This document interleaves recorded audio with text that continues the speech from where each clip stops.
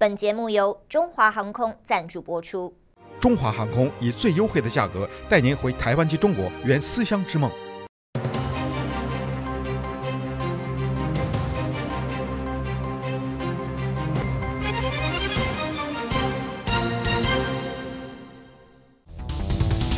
拜登正式宣布参选连任。福斯 CNN 当家主持先后离职。苏丹实验室或引发生化危机。各位观众晚安，欢迎收看四月二十五号的华语电视晚间新闻，我是于新伦。拜登总统今天正式宣布竞选连任，也发布了新的口号：“Let's finish this job”，让我们完成这项工作。拜登将明年的选举称之为一场反对共和党极端主义的斗争，而他的老对手川普也已经蓄势待发，扬言要在辩论舞台上与拜登再次一决高下。When I ran for president four years ago, I said we're in a battle for the soul of America, and we still are. 今天上午，拜登总统正式启动了他的连任之旅，这与他四年前宣布参选2020年总统的日期如出一辙。在那次的总统竞选中，拜登的口号是恢复国家的特性，防止川普获得第二个任期。这一次，拜登则说他的工作还没有做完。The question we're facing is whether in the years ahead we have more freedom or less freedom, more rights or fewer. 共和党全国委员会迅速做出反应，用 AI 生成的视频模拟了拜登如果连任会发生的各类灾难性后果，其中包括了移民危机、战争蔓延和经济崩溃等等。拜登总统正式宣布参选之际他的支持率却依旧很低。根据美国国家广播公司 nbc 的一项民意调查发现只有百分之二十六的美国人认为拜登应该竞选第二个任期而在反对他参选的票数中有近一半的人说他的年龄是一个主要的原因。I think we should remember we didn't think he could pull it off four years ago and look what he's done. 而拜登如今最大的对手依旧是那个男人唐纳德·川普。川普也在拜登竞选连任后不久就发文谴责，抨击拜登对于经济和通货膨胀的处理方式、猖獗的非法移民、灾难性的阿富汗撤军行动等等，还将拜登称之为美国历史上最腐败的总统。不过，今年七十六岁的川普也表示，他期待在辩论舞台上再次与拜登会面。然而，根据民调显示，选民们却似乎不想看到这两个老面孔再次相聚。根据 NBC 和《华尔街日报》的联合民调显示，有百分之七十的受访者不希望拜登参选，也有百分之六十的受访者不希望川普参选。民调还显示，如果拜登再次与川普竞争，会有三个百分点的优势。但当他面对尚未宣布参选的佛罗里达州州长德桑蒂斯或其他共和党候选人的比赛中，则都呈现了负面的结果。这两位老对手是否会再次碰面，现在还不得而知。但至少在党内初选的竞争当中，民主党的团结或将帮助拜登再次顺利站在最高的舞台。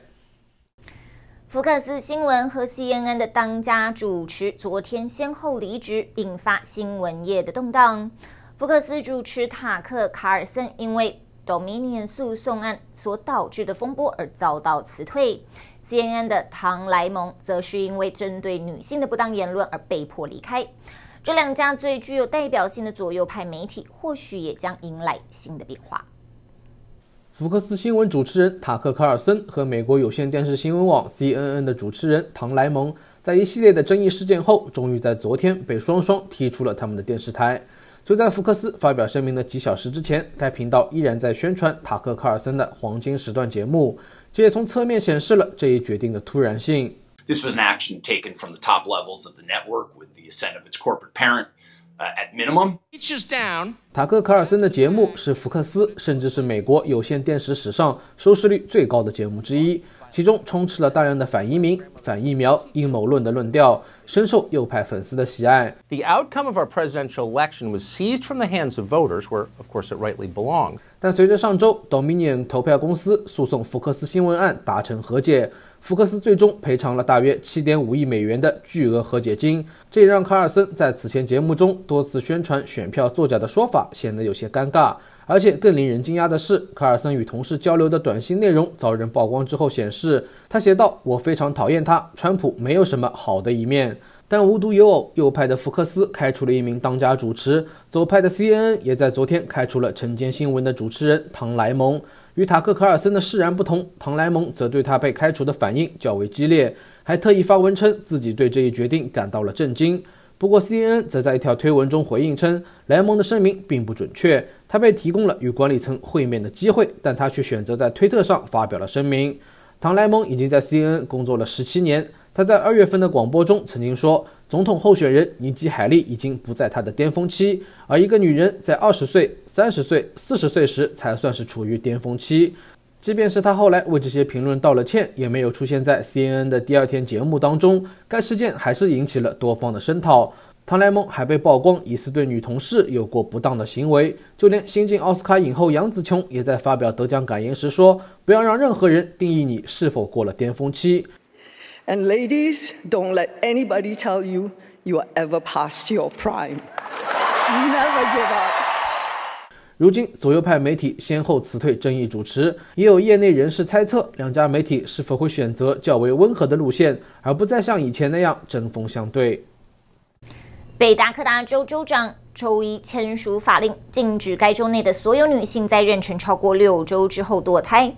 这项法案与佛州此前的法案基本类似，但附加了更为强制的规则，包括被侵犯甚至乱伦的怀孕均算在内。北达科塔州州长道格·伯格姆周一签署了一项法令，使之成为法律。这项法律将紧跟随佛罗里达州的立法，规定妇女在怀孕超过六周之后就禁止再进行堕胎。甚至在佛罗里达州相对宽松的解释项里，在北达科塔州的立法中也被删除，包括被侵犯亦或是乱伦的怀孕都被包括适用于该法律。唯一的豁免权是，当怀孕的母亲生命受到威胁时，才允许堕胎。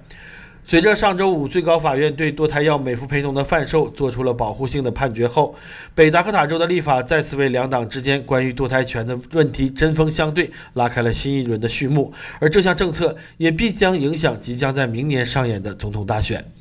已经宣布竞选的共和党候选人尼基·黑利今天公开谈到了这一关键的话题。自去年最高法院推翻罗伊诉韦德案以来，各州对该程序的使用情况差别很大。黑利此前一直公开只表示支持反堕胎，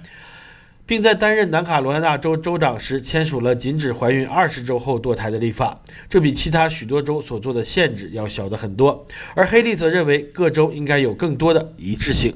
I do believe there is a federal role on abortion. Whether we can save more lives nationally depends entirely on doing what no one else has done to date, and that is to find consensus. That's what I will strive to do. 着名牙买加裔美国音乐人哈里·贝拉方特今天在纽约的家中因病去世，享年九十六岁。 这位被誉为加勒比流行音乐之王的音乐家和民权活动家，在接近半个世纪的时间里，为全世界的民权和贫困儿童做出了巨大的贡献。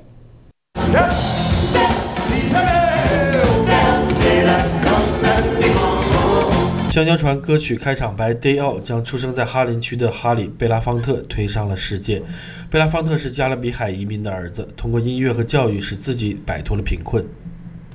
I and my brothers and sisters were the first to be educated.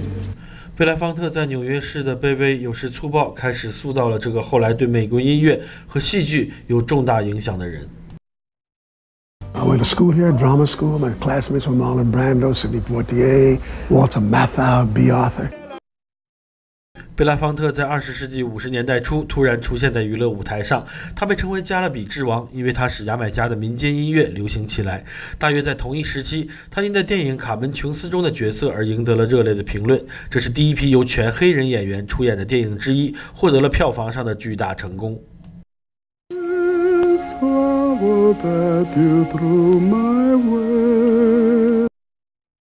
这个有着独特沙哑嗓音的男人，后来录制了四十多张专辑，包括原创唱片和合集，并主演了十多部电影，时间跨度超过了五十年。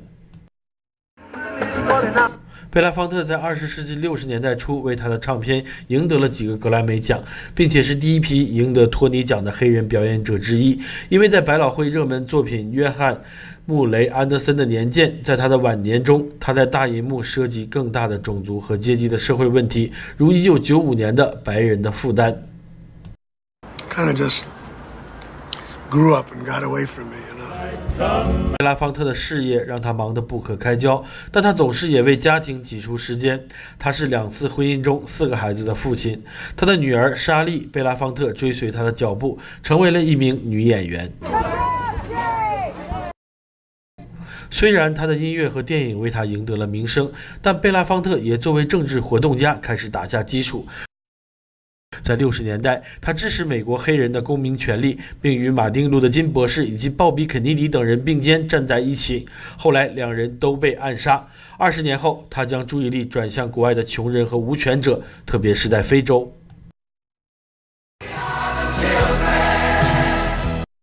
一九八五年，贝拉方特与世界上一些最著名的艺人一起发起了《我们是世界的美国非洲录音歌曲》。这首歌为非洲筹集了超过六千三百万美元的资金。由于他的人道主义精神，这位艺术家先后获得了肯尼迪中心 （ACLU）、美国国家艺术奖章和瑟古德·马歇尔终身成就奖等诸多奖项。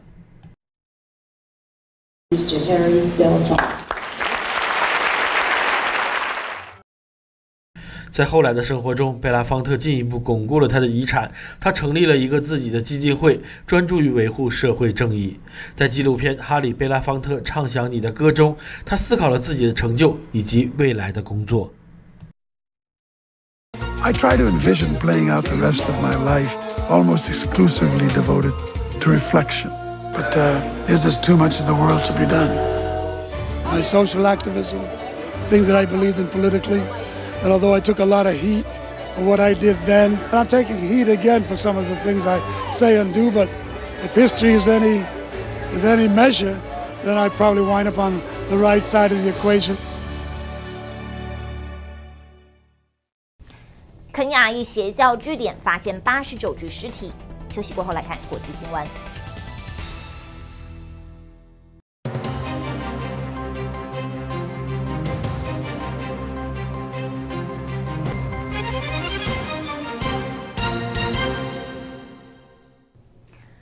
苏丹昨天才刚刚签署七十二小时停战协议，今天一波未平，一波又起。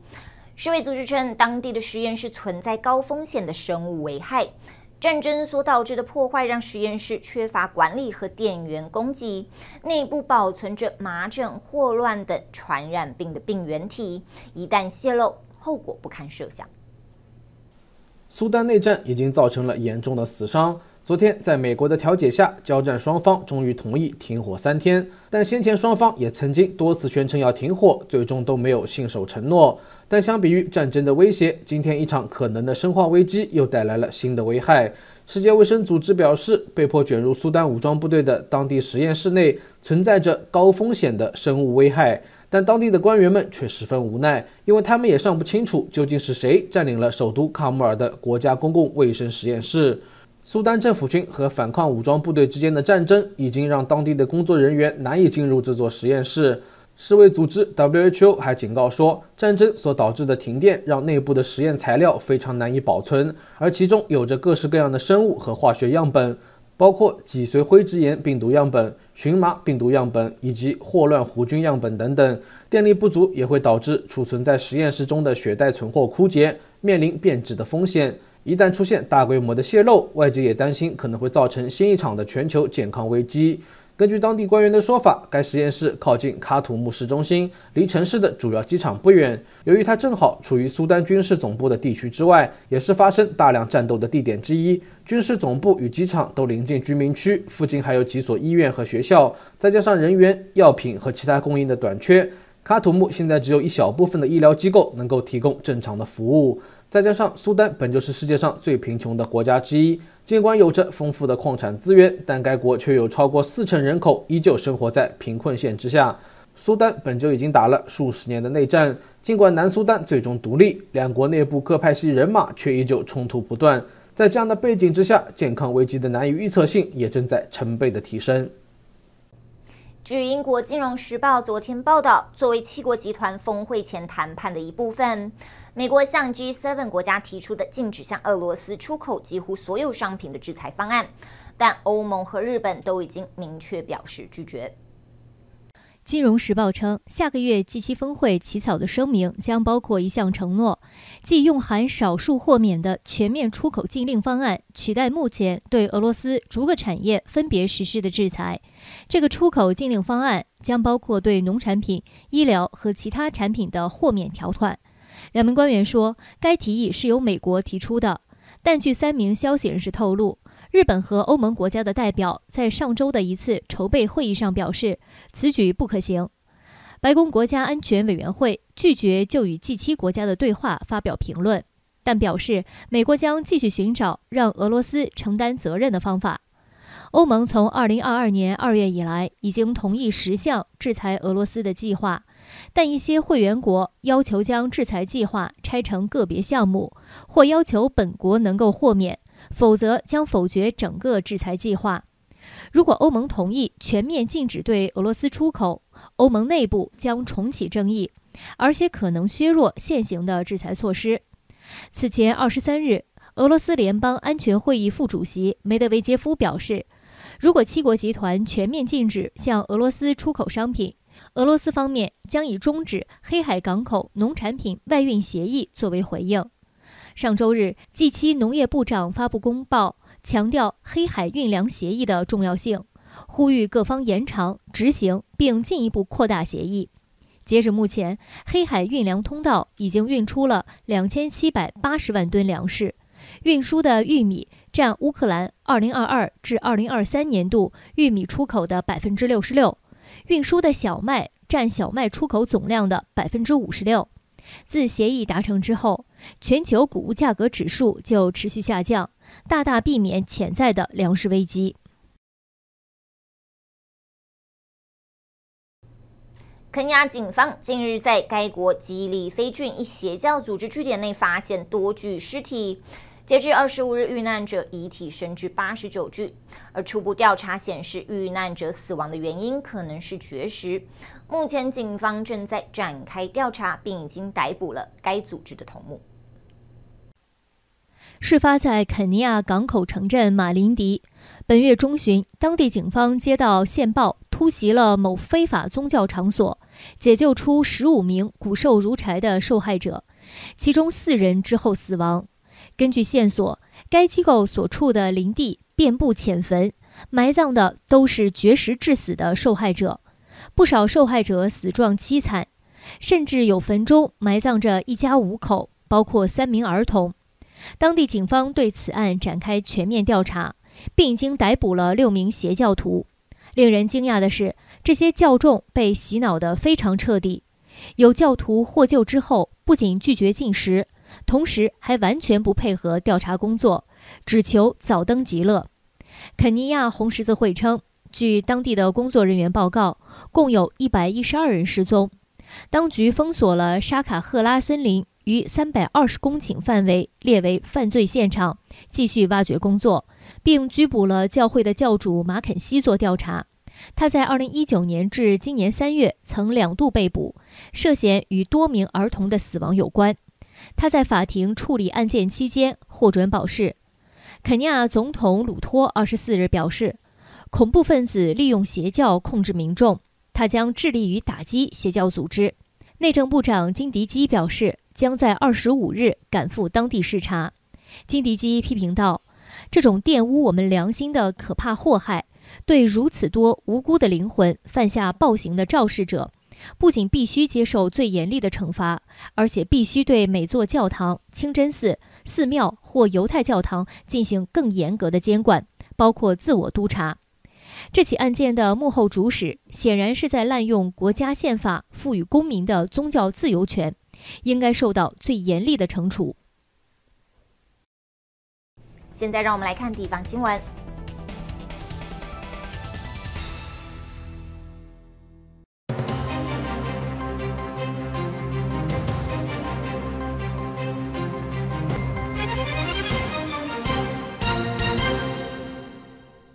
在南加州蒙特利公园市春节发生的大规模枪击案过后，近日由加州第四十九选区华裔众议员方树强提出了三项新的控枪法案，包括对不符合条件的枪支持有人没收枪支等内容，希望这些法案能够保护社区居民不受枪支暴力的影响。We also know that Assembly Bill 732, 733, and AB 1638 will not bring back the lives lost on January 21st.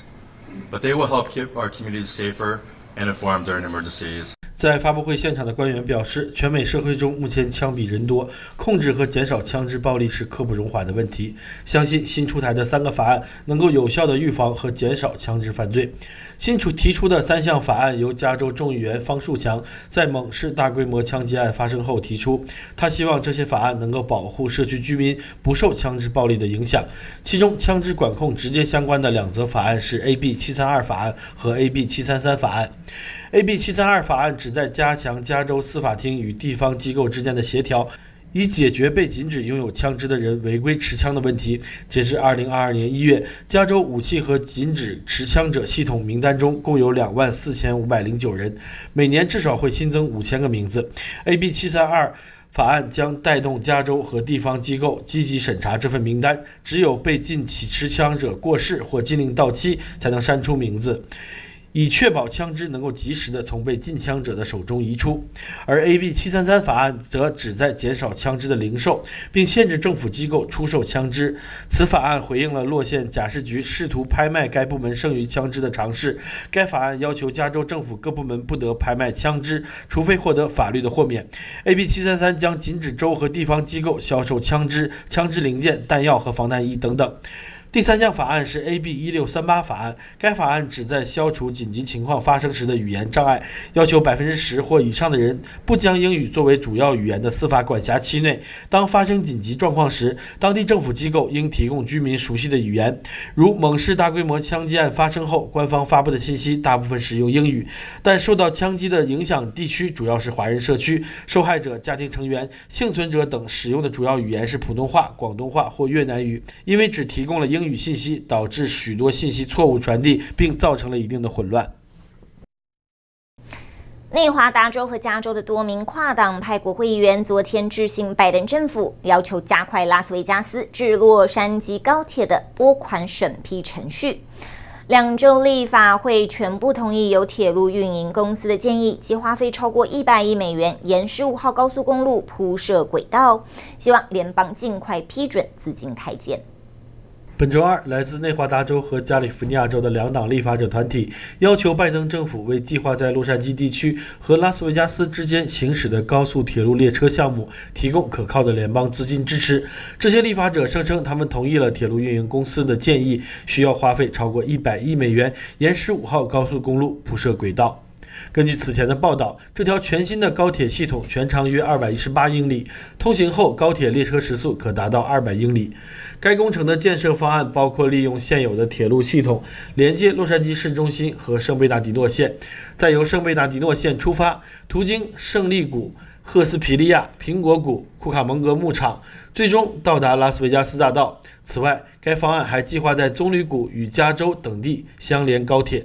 负责运营的 Brightline 公司表示。高铁通行后，预计每年将减少超过四千万次的汽车和巴士旅行往返拉斯维加斯，有利于降低二氧化碳的排放量和减轻十五号洲际公路上的交通负担。而早在去年三月，Brightline 就与高速铁路劳工联盟达成了具有里程碑意义的劳工协议。该联盟由十三个铁路工会组成，代表美国十六万多名货运、区域通行和客运铁路工人。根据公开信的内容表示，立法者们希望联邦的支持资金尽快到位，因为该公司希望在今年开始施工，而工程的建设时长约为三点五年到四年。如果进展顺利，这条高铁有望在二零二七年开通运行。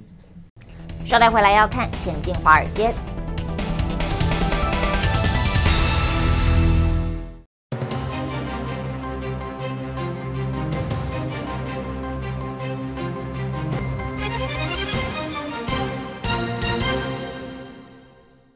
欢迎回到华语电视晚间新闻，来看今天的前进华尔街。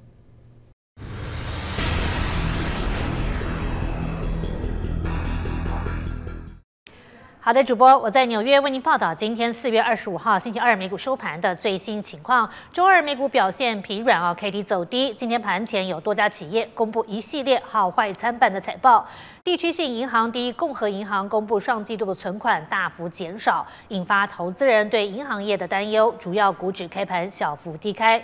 财报是今天市场关注的主要焦点。第一共和银行的股价呢，今天大跌了超过百分之四十。这家区域性银行发布最新的业绩显示呢，第一季度的存款减少了近七百二十亿美元，大约下跌了百分之四十啊，降到了一千零四十五亿美元。同时呢，第一共和银行还宣布要削减开支，包括在第二季度裁员百分之二十至百分之二十五。投资人一直在担心的就是第一共和银行有可能面临与信股银行和签名银行相同的倒闭命运，因此呢，再度引发了市场对银行股的担忧。今天银行板块都受到了拖累啊，因此表现是疲软的。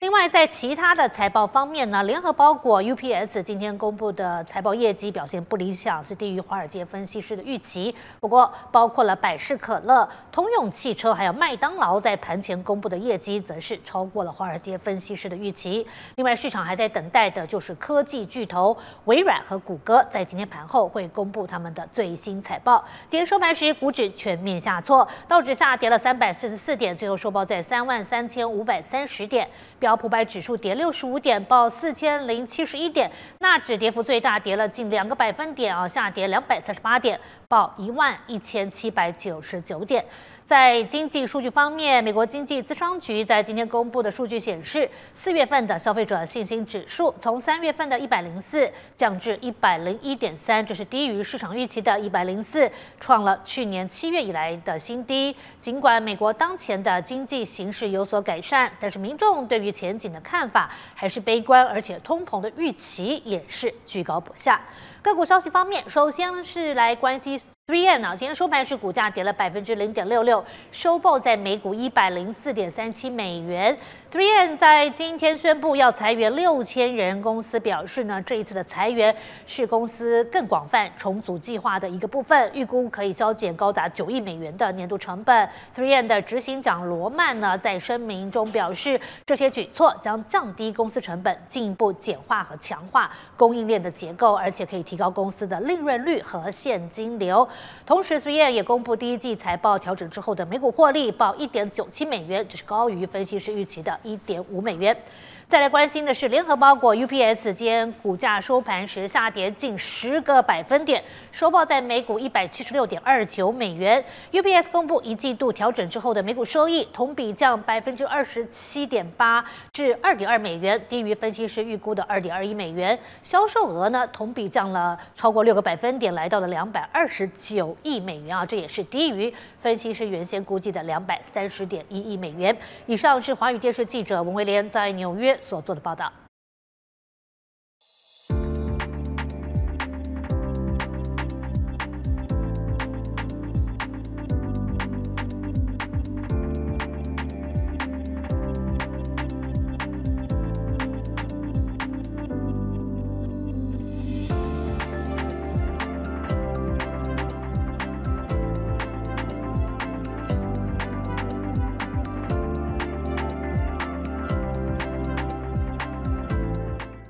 以上就是今天四月二十五号的华语电视晚间新闻全部内容，